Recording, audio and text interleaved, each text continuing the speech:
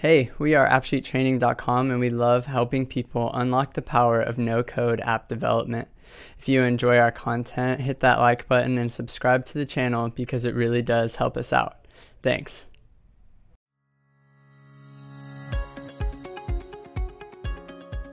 In this video, we are going to be walking through how to make a simple vehicle inspection app in AppSheet that will look something like this. So in this app, we set up an action that links us to a form and pre-fills some data based off of the row that we clicked it on.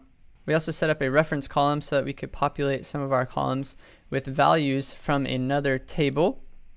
We also walked through setting up different views within our UX tab to help our users have a good experience. If you would like to see a production level vehicle inspection build, you can check out our more advanced build guide on our website, appsheettraining.com. There you would learn how to build an app that will look a little bit more like this. So in this app build, we set up a multi-step form, meaning that it has multiple pages with tabs and tab headers at the top of each page. We also set up document generation, so I could come here, click email report, and have it email me a report. And that report looks something like this. And so this is something that we set up on our own and it pre-fills certain columns based off of expressions we used in the template generation. Then we also set up user permissions. So depending on a user's role in the company, they would be able to see views or not see views, as well as what they're able to interact with in those certain views will also differ based off of their role. With all that said, let's get started.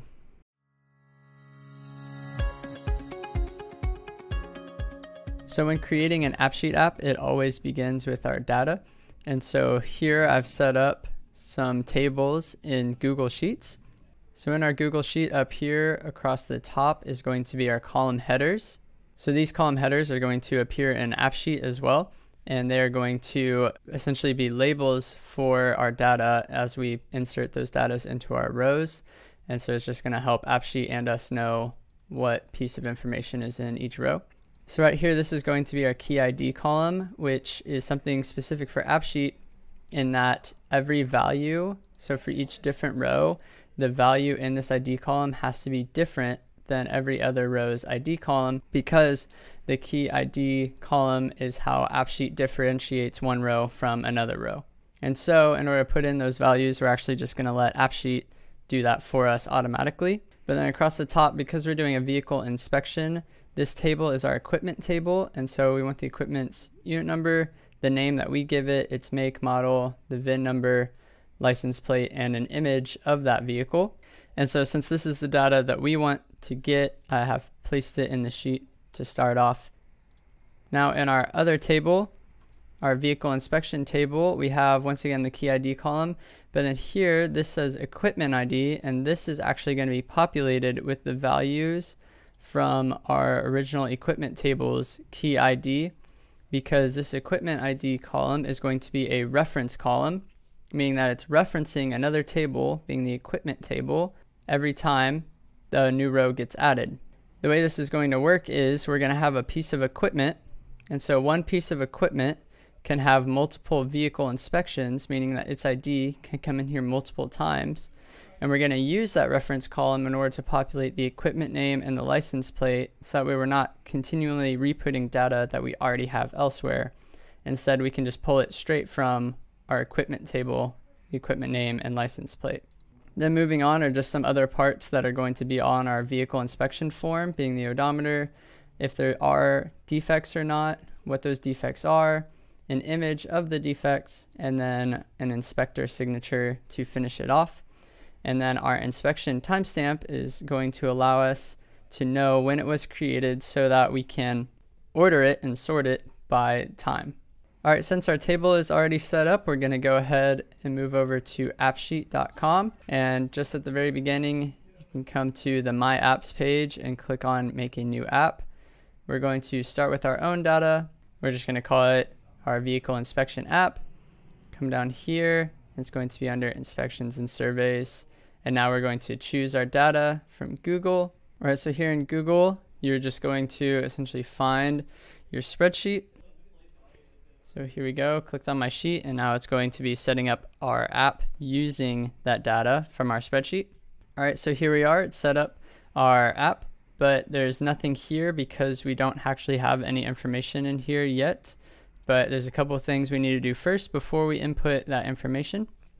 So we're gonna come over to, to data, and here you can add a new table, or it says that we can add a table for this vehicle inspection, which is one of the tables from our Google Sheet. So I'm gonna go ahead and add that in. All right, now we're gonna come up here to columns, and click on equipment. So now we get to customize what our column header is going to be in terms of its type, as well as determining what's the key, what's the label. Once again, this key is that unique ID, which we already have set up here. And actually, if you come over to the side, AppSheet has already inputted this value into the initial value of unique ID. And so this is how it auto generates a key ID for each row. So we're going to leave that as it is. Come over, going to uncheck show because I actually don't want this to be seen on any of our views. All right, coming down our unit number, we want this to be a text type. Same with the equipment name. And then for the rest of these, we want them all to be text and this last one an image. And for our use case, we're actually to have the unit number be the label. And so that's all we need to do to set up our equipment table. So then I'm going to go ahead and save that.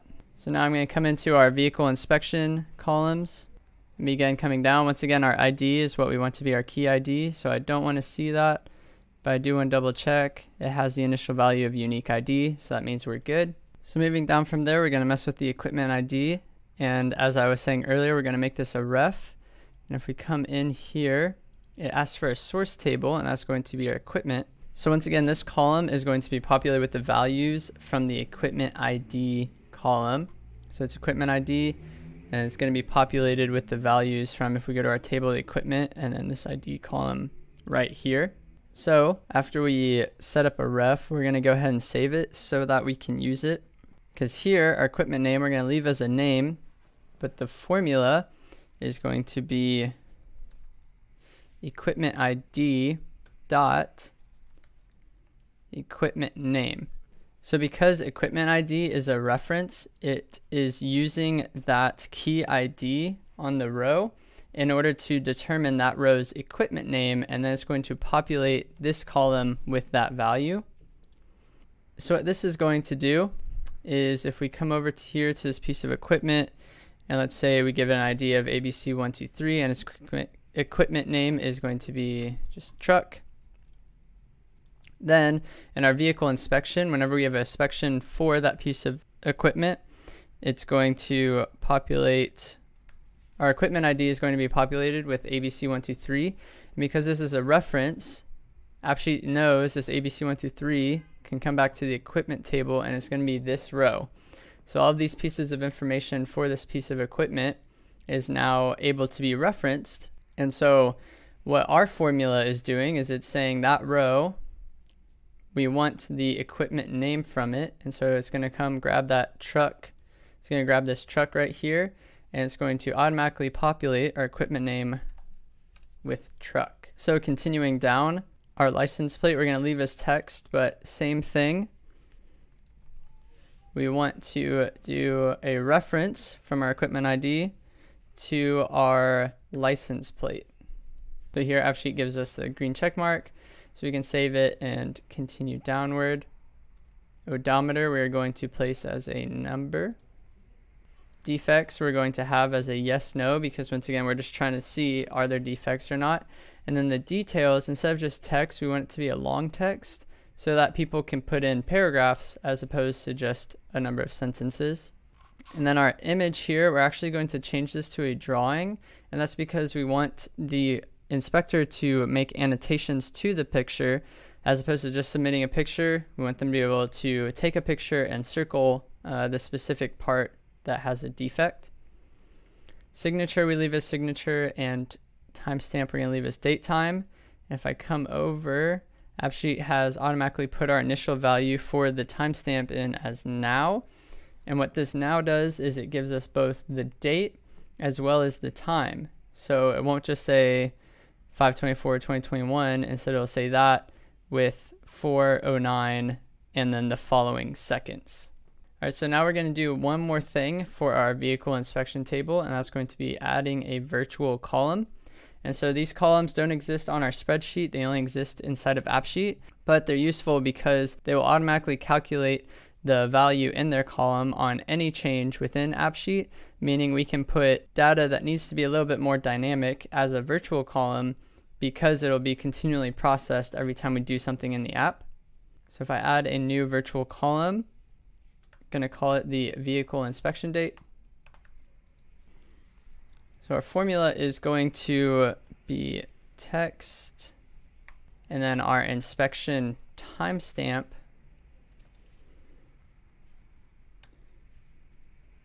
month, day, year, year. So all this is doing is it's taking whatever our timestamp is for that particular row and changing it into the month, day, and just the last two numbers from the year.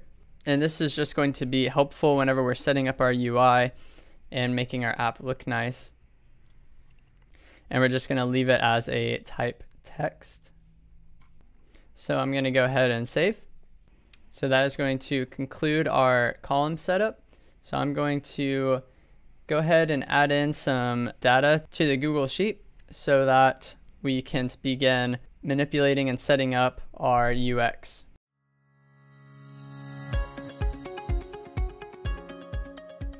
All right, so now that we have some pieces of equipment here, we're able to actually see what our equipment view looks like. And so I'm going to come over to the UX and right here, our primary view is equipment. Another thing you can do is come down to the view and it tells you the current view that you're on. And if you click it, you would have the same thing where it comes to the UX view of the your current view. And so here we are going to leave it as card, put left, come down here and we want it to be sorted by the unit number and it's fine to leave it ascending. And so this is more based off of our use case than anything else. All right, but here's where it's going to change. We're going to make this large and then change up each part of the card. So up here, we're going to have it show the image. And then we want the make and model as those two. Come down here, and this is going to be our equipment name. Then we're going to have our unit number and then our license plate. And then down here, action one, we're going to leave that as edit. I'm going to take off this delete from here. And in a bit, we're going to add something else, but for now, we're going to leave that as it is.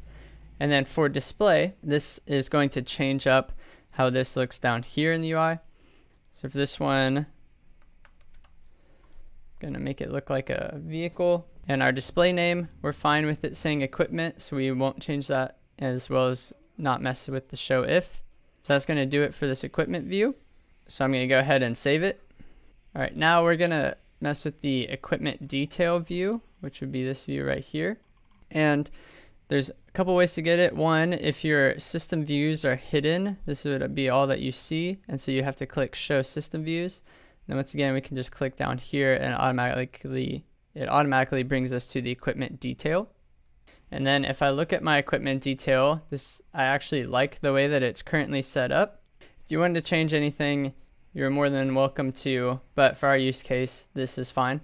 All right, so now we're going to create an action that will automatically bring us to a form that is populated for the specific equipment that we are trying to have a vehicle inspection over.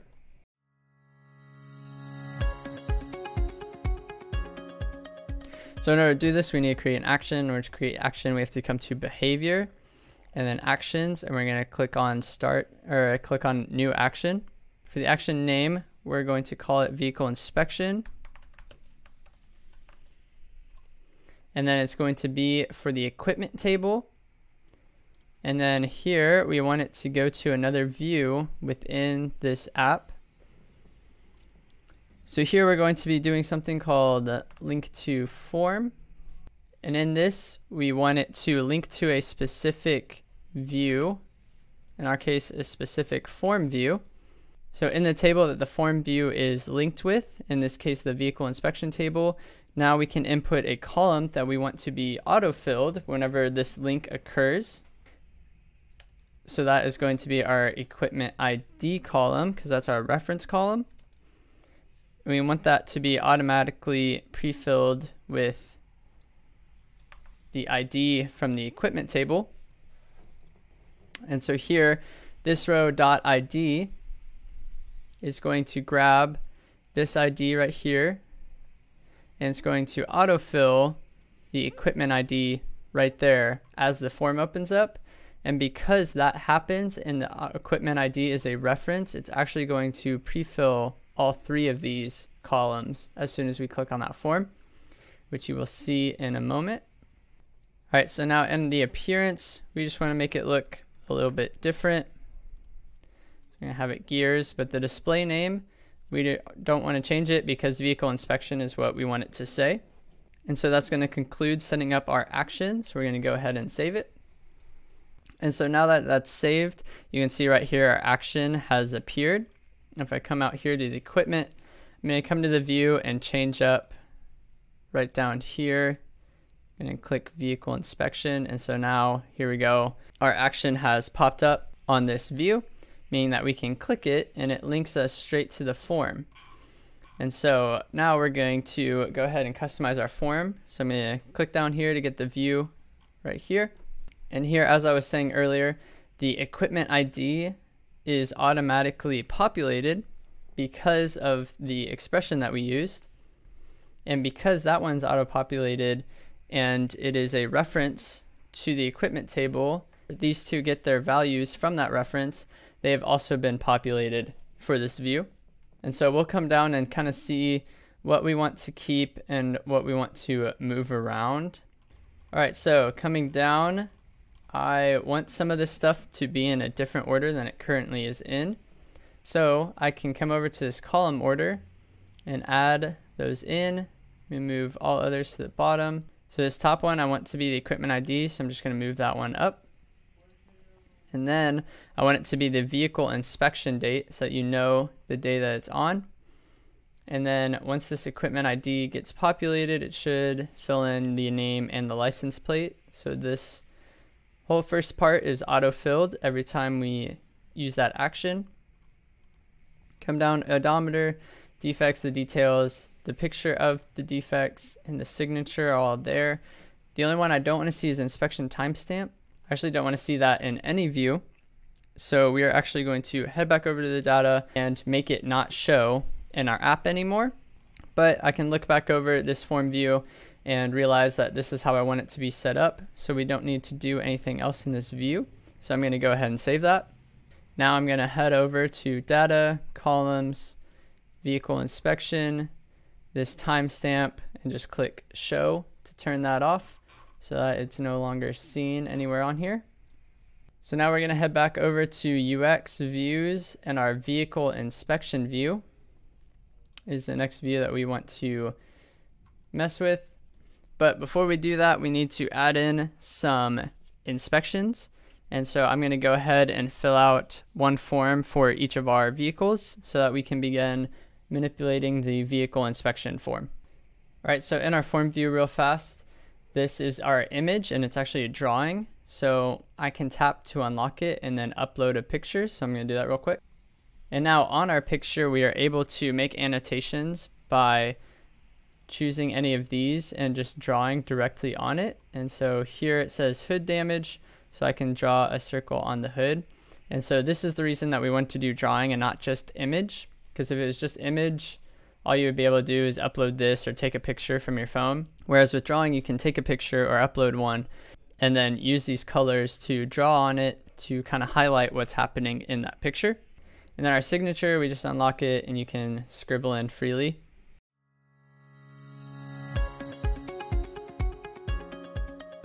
All right, so I've uploaded a couple vehicle inspections. And so now they've popped up here on our view.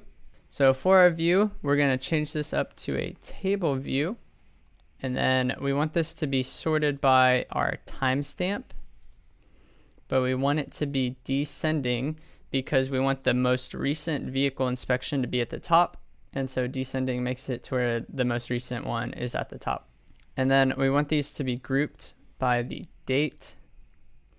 And so since I just did all of these today, they're all going to be grouped today. But if we had them spread out throughout multiple days, then they would be grouped separately by that. So I'm actually going to change some of them up so that we can see that. So here we go. I made one the 22nd being this red sedan. And so you can see by our sort by is saying that the inspection timestamp needs to be descending. But here, here the oldest one is on the top as opposed to the newest one, which is what we want. But within the groupings, the newest one is on the top, meaning that we need to change our vehicle inspection date to be descending as well, so that the newest is on the top, both in the grouping as well as within the groupings. And then we want this group aggregate to count so that we know how many inspections were on what day. And then if I'm looking at this, it has our name and the ID, but it also has everything else from our vehicle inspection. And so we only want a couple pieces from our vehicle inspection. So I'm going to add in a couple into our column order.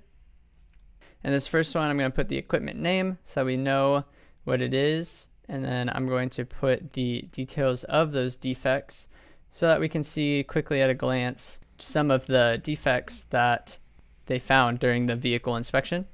Then we're going to move down to display and just change up this icon. And so I want to make it a wrench. And our display name, we're fine with vehicle inspection, so we're just going to leave that blank. And then that is going to do it for our vehicle inspection view. So I'm to go ahead and save. So now we're going to move over to the vehicle inspection detail. So I'm to click in on here and see vehicle inspection detail at the bottom. Click on that so that we can manipulate that. And just to start off, I'm going to change this to a card layout where of course we're going to have the image at the top, then the equipment name, vehicle inspection date. But then right here, I want this to be the equipment ID because that is going to show our unit number because we set up that unit number as the label earlier on in our columns under data. And then down here, I don't want this action or this action, but I do want to keep this view reference equipment so that you can click here and go to the page for that piece of equipment.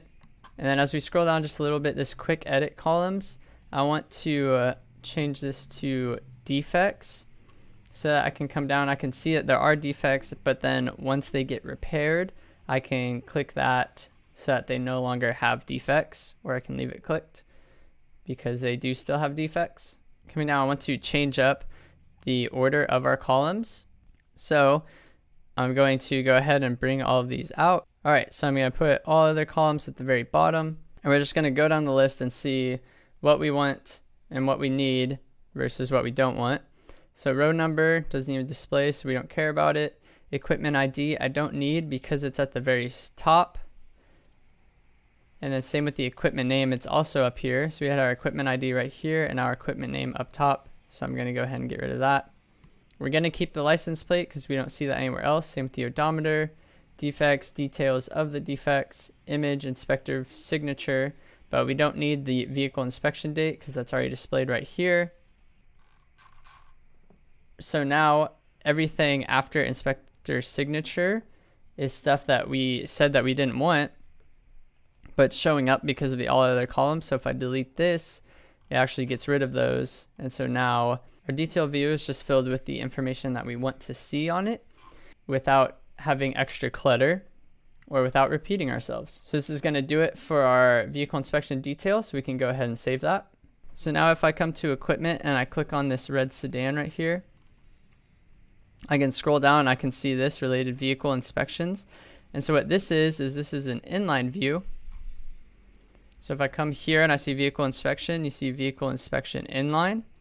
And if I click on that, now we can customize what this looks like so that we can make it a little bit cleaner and more to our liking. And so for us, we're going to change this to be a table and we're going to have a sort by the timestamp descending once again because we want the most recent to be at the top. We don't want to group these or have an aggregate, but we do want a column order because we don't want every single piece of information to be displayed here. We only want a couple pieces. So the first one is going to be our vehicle inspection date so that we know what day the inspection occurred upon, and then the details of the defects. And so right now you're probably thinking you can't tell what vehicle is what, and so which inspection goes with which vehicle.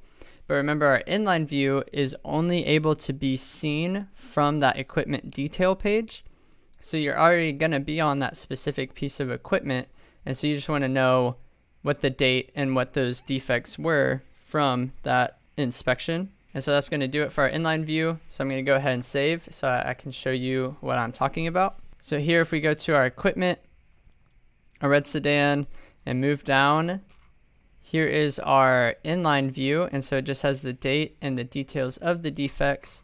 And it's seen on this specific piece of equipment, meaning all of these inspections relate only to this piece of equipment. We don't need to specify the equipment name or anything like that on the vehicle inspection itself because of the place that it's put in our app.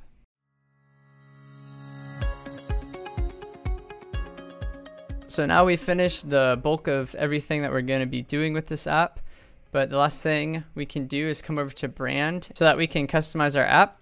So I'm just going to change up the theme, making it dark theme, as well as what primary color is used throughout the app. Then our app logo, we can change it up to look a little bit more like what our app is actually going to be used for.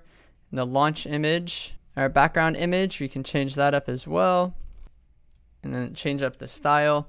And so this is all just kind of personal preference slash whatever your use case is if you're building this for someone else. And then here, our view name and header, I recommend always having this checked because up here you can see what view you're in at any given time.